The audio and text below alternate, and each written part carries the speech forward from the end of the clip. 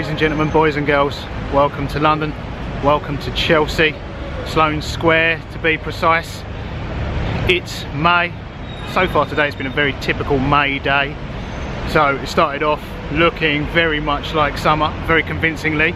First thing I left the house in just a t-shirt to take care of a couple of chores and very quickly regretted it. Um, and transition from summer back to spring. It's now starting to look a bit like winter. Let's hope summer returns. Being May, I thought now would be a good time to talk about some of the main events that happen here in London during the month of May. And the reason I'm in Chelsea is because one of the main events is the Chelsea Flower Show. Now, at the time of me filming this, the flower show hasn't begun yet. It starts next week and um, by the time you're watching this, it'll have been and gone. However, it's in a really interesting location just down the road here, the, uh, the Royal Hospital. So I thought we'd go and check out the location of the Chelsea Flower Show. Then I'll come back here to Sloane Square and uh, we'll take a look at some of the uh, the major shopping streets here. It's one of the main reasons people come here. It's a shopping destination, very popular with ladies at lunch. And then we'll head down to Duke of York Square and I'm going to get some lunch. First up, let's head down to um, Royal Hospital and check out the location of the flower show. During the month of May, we're very much transitioning from spring to summer, so as you will see today, the weather is highly unpredictable and not just day to day but hour to hour. However, the weather is improving, so that means more outdoor events. There's open air theatre, the London Symphony Orchestra hold a free concert each year in Trafalgar Square, which is remarkable. We have the Underbelly Festival on the South Bank, which is a mix of comedy, circus, and cabaret and the Royal Horticultural Society show here in Chelsea. It's the biggest event of this month and for British horticulturists the most prestigious of the year. Okay, we've gone for all the seasons in one day today. We started off as summer, um, then spring, and now it's raining. Winter's here. Um, this here is the Royal Hospital, the corner of it. It's quite a big site. Um, this is Royal Hospital Road. Um, if you head down there to those traffic lights there, that's um, the Chelsea embankment runs along there, the River Thames is there, bridge over the River Thames right there. Um, there is a spectacular entrance on the front um, to the Royal Hospital, a long sweeping driveway. Um, I think the most used entrance is here. It's quite a long walk across there. This road intersects the the hospital building, the main buildings, and their sports ground. Um, and then beyond the sports ground is um, the Saatchi Gallery, which we'll head to in a little while, which was originally a um, military school um, and training grounds. So pretty much the military would have had um, from the river to the King's Road. Um, you know, head down here, we'll check out the, uh, the main buildings, get quite a close view here on this road of the main buildings opposite the sports ground and then I'll head back up to Sloane Square. The southern grounds as well. The other side of the building is where the flower show is. It really dominates that whole section of the building's grounds. Ticket prices and hospitality offers for the flower show vary from the reasonable to the absurd, so the sooner you book the better, and it's usually a sellout show each year. So if you do wish to visit, book tickets as early as possible. However, even if you don't have tickets to the show, during the show, Chelsea holds a Chelsea in Bloom competition in which many of the local stores, hotels, and restaurants take part in and they compete in. So they go about it in a serious way. There are some phenomenal floral displays on the streets of Chelsea. The bars and hotels offer show inspired menus and drinks, so it's great time to visit Chelsea. Okay, as you can see, preparations there for the flower show. It's actually sunny and raining. The story of the Royal Hospital here in Chelsea began over 300 years ago, first opening in 1692 during the reign of King Charles II, whose vision for a home for veteran soldiers was designed and built by Sir Christopher Wren. But it's not just the buildings that have survived to this day. King Charles II believed the country owes a debt of gratitude to its old soldiers, and that is the spirit of the Royal Hospital today. It's an institution inspired by the French and their equivalent Les Invalides in Paris, which opened in the 1670s. Just opposite the uh, the Royal Hospital buildings themselves. And their sports grounds, they always look really, uh, really good. Members only.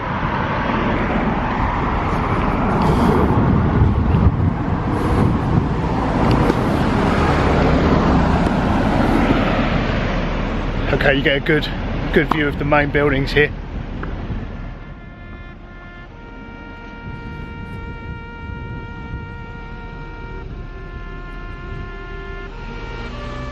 The residents of the Royal Hospital, known affectionately as Chelsea Pensioners, have all served as ordinary soldiers in the armed forces at some point in their lives, and now in their later years find a warm welcome amidst the camaraderie and banter of their fellow veterans. You will often see them in Chelsea wearing the iconic scarlet red coats of their uniforms. Okay, all the trucks are arriving for the flower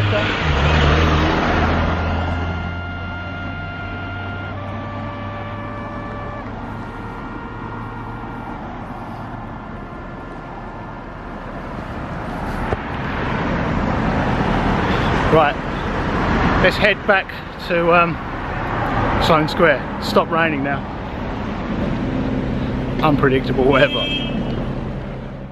The Royal Hospital here provides a home and a community for veterans, and they then in turn support the wider community as part of the Royal Hospital's outreach programme, helping the elderly, the vulnerable, and the homeless among the many other projects they're involved in.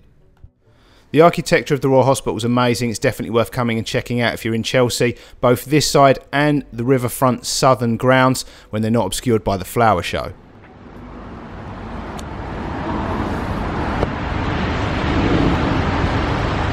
Okay, the rain's getting a bit more serious now. It calls for an umbrella. Okay, that's better. Um, I get asked quite a lot what people should uh, pack, what people should wear at various times of the year here for a, for a trip to London and um,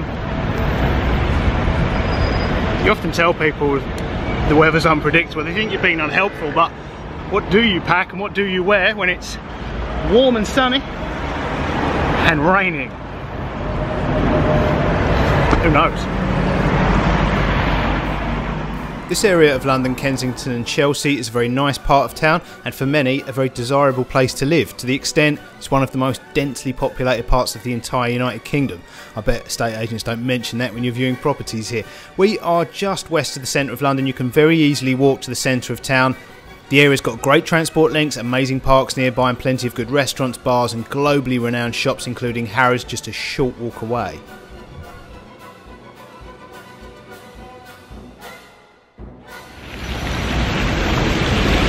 Okay, today Chelsea is very much a shopping destination.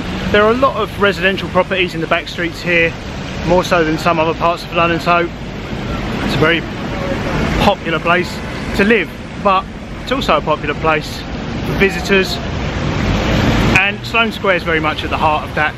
You've got a hotel, theatre, restaurants and bars, a department store there, Peter Jones, um, the start of the King's Road is here, um, a renowned shopping street, and there is Sloane Street which runs from here to Kensington lined with luxury boutique shops very popular with shoppers. And there's little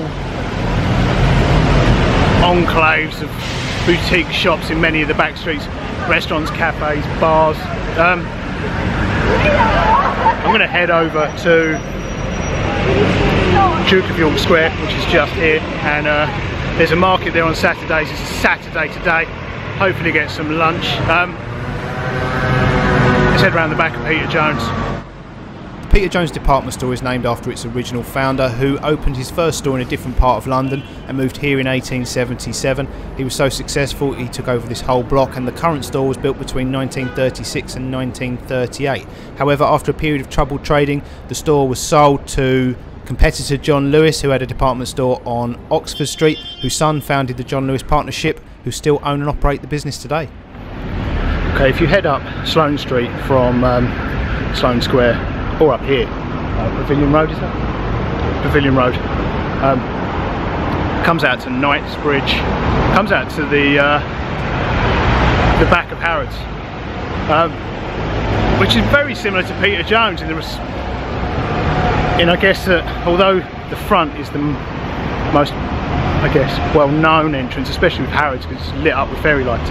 Um, the grander looking entrance is actually at the back in terms of where the main roads are.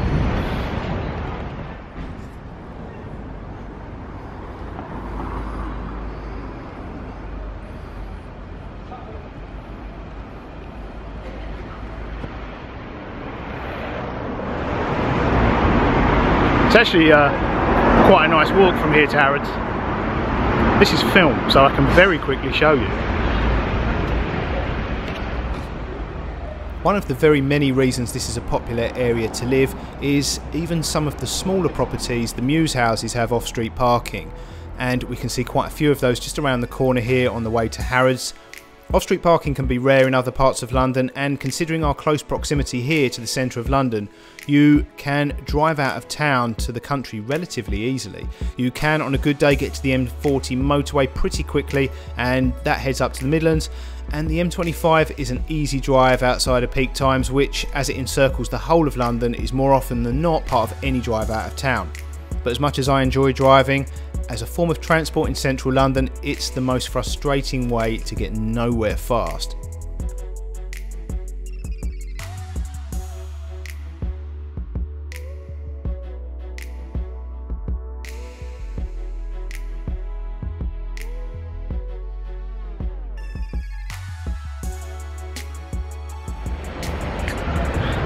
Okay, welcome to Harrods.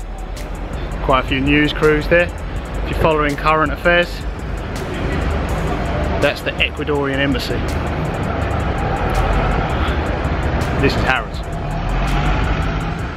Harrods is Europe's largest department store and arguably the most famous store in the world. It's on a five acre site with around a million square foot of selling space. The store's motto, translated from Latin, means all things to all people everywhere. However, today it's primarily synonymous with luxury goods bit like Peter Jones. I think the building actually looks slightly more impressive. Maybe impressive yeah. is the wrong word. But uh, yeah, slightly nicer from the back.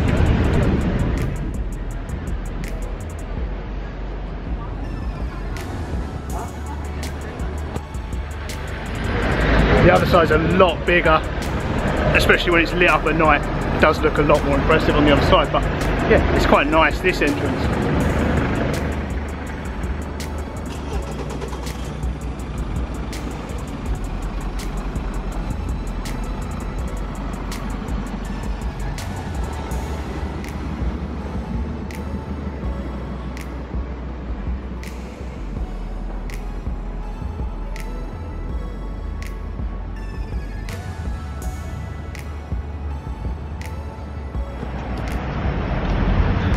A little cafe outside here as well. Ladurée, uh, famous for their macarons.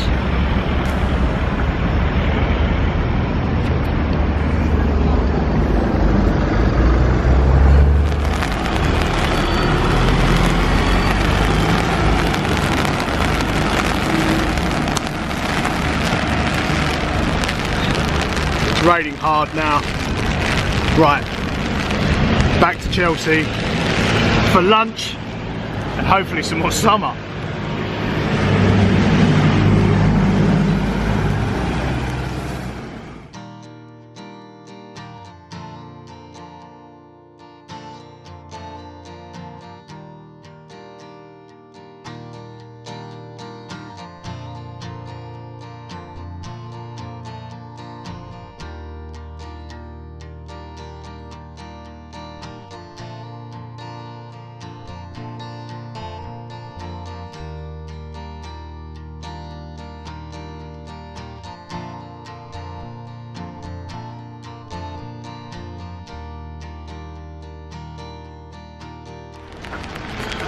Okay. It's British equivalent of a uh, GoPro. Has its limitations. Compact camera and umbrella. That's better.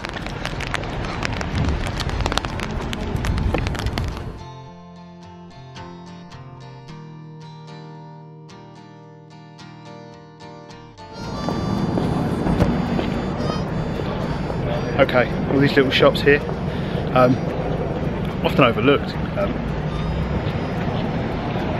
Peter Jones there. These stores are actually relatively new, although some of the businesses in them are very well established here in London. But we have a wine merchants, a cheesemongers, and an artisan bakers all in a row. What more could you want?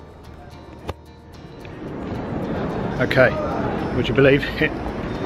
The uh, the sun is shining once again. Summer's back just in time for lunch. So I'm going to head to a market just on the other side of uh, the Peter Jones department store here in um, Duke of York Square.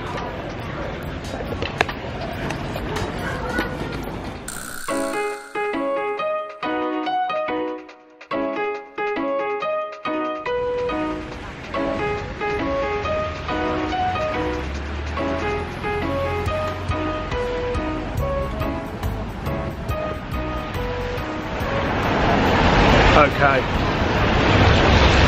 Sloane Square is just there, back where we began. Um, there is an entrance to Duke York Square just there, but I'll head further along the King's Road here and um, we'll get a better view of the market from across the road here and the Saatchi Art Gallery.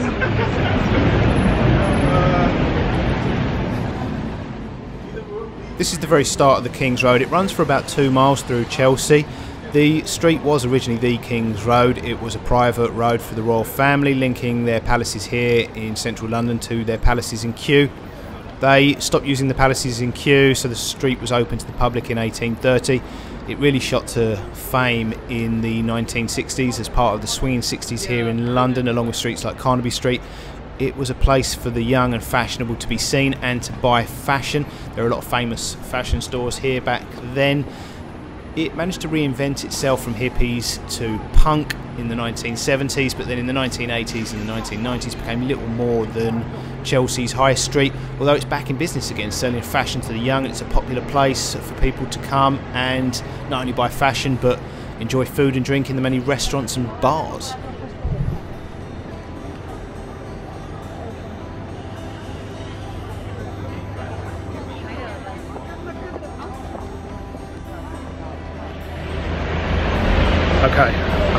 Food from across the road. It smells phenomenal. Check it out. Pretty busy as well considering it's just stopped raining. The open square opposite us is the main square of Duke of York Square, which is today a retail complex here at the end of the King's Road. For just over 200 years, it was home to the military. The main building opened in 1801 and the military left in 2003 when it was converted into what we have today, which is shops, bars, restaurants, and an amazing art gallery, a modern art gallery. And every Saturday, there's this farmers market.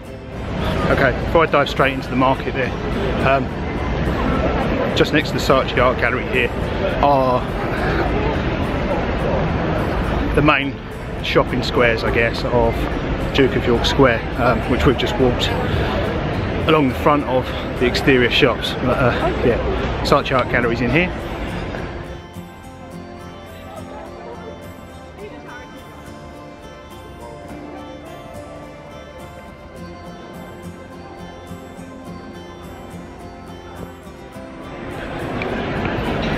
That is the main part of Duke of York Square. So boutique size um, shops, a few restaurants as well. But I'm going to head to um, one of the, I usually get the same thing to be honest when I come here. Um, duck confit sandwiches from uh, Partridges. Partridges is a, uh, food store. It's a food shop on the edge of this square. Um, and they have a market stall outside. Um, yeah, like I said, I usually get the same thing. Failing, um, they've run out, sold out, or aren't there today.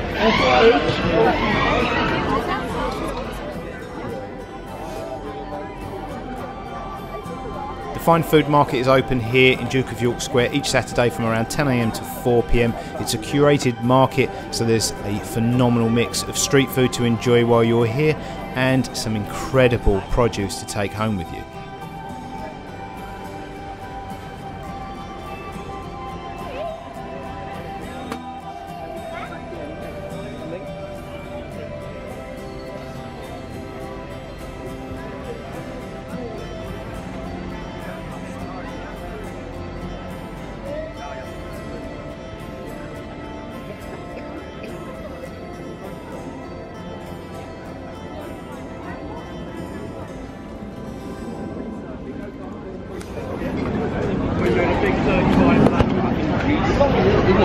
Success.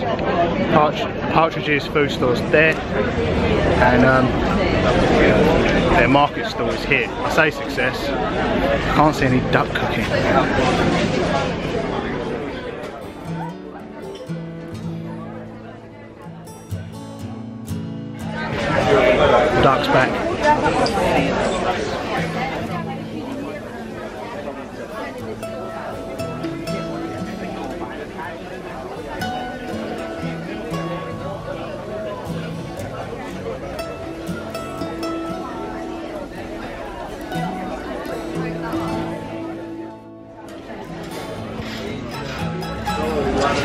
Okay, success.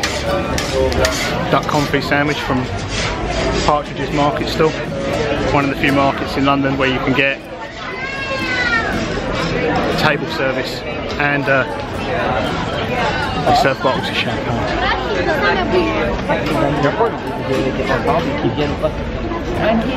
I'll make do um, street style. Go and find somewhere to sit and eat this. It's a bit early for the champagne.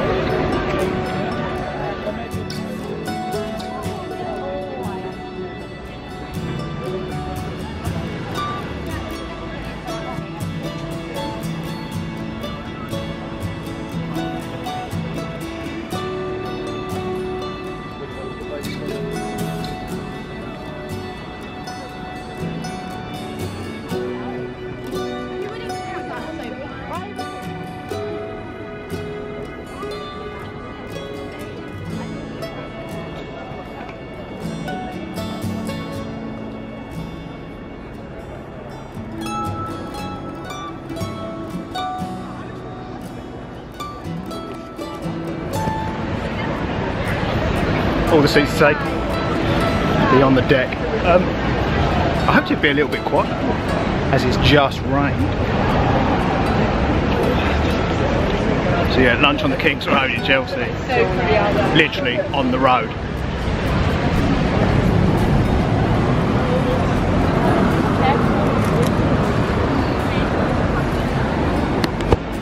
Okay, loads of duck. Let's give this a go. I know they're good, that's why I go back time and time again.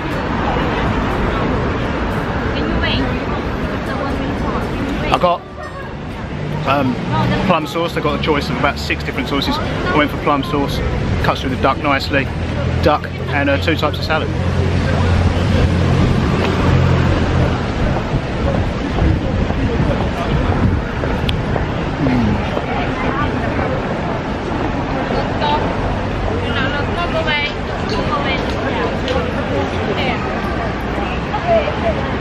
I definitely recommend definitely recommend a trip to the market. I definitely recommend uh, Partridge's duck sandwiches with plum sauce is a good combo. Chinese style. Um, I've had a fair few of these in my time. Right, I'm going to tuck into this. I'm going to have another quick look around the market.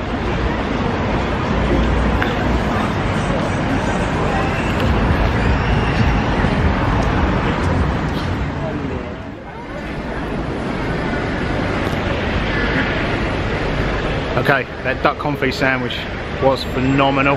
I definitely recommend a trip here to this market um, and the duck confit sandwich. I'm going to head back in, try and find a coffee to try and induce me from this food coma it's, that duck confit sandwich has put me in. Um, despite some of the, um, I guess, pretentious Chelsea touches, you'll see the bottles of champagne and uh, the ladies that look like they have had an allergic reaction to something they've eaten. Don't worry, it's just Botox, they pay to look like that. Um, it is actually, by London standards, pretty, uh, I wouldn't say good value for money, but competitive. Um, street food these days is uh, not always the best value food for money, but uh, it is amazing. Right, hope you enjoyed this trip to Chelsea. Until next time, toodles.